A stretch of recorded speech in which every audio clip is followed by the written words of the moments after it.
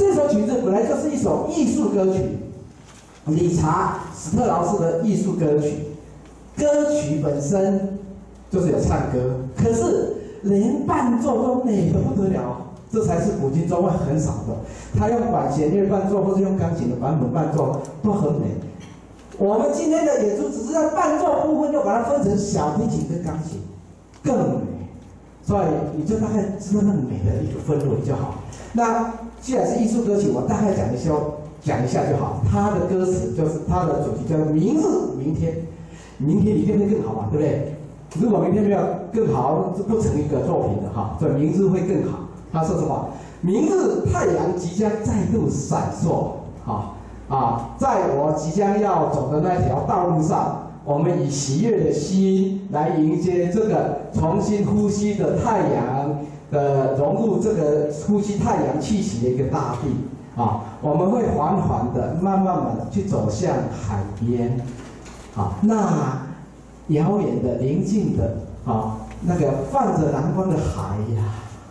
最后他说：“我们我们会互相凝视着对方，一语不发。”在我面前消逝流泻的，就是那喜悦的静谧安静哈，这个很美的情境，对一对恋人哈，他描述这个情境，就是这样就好。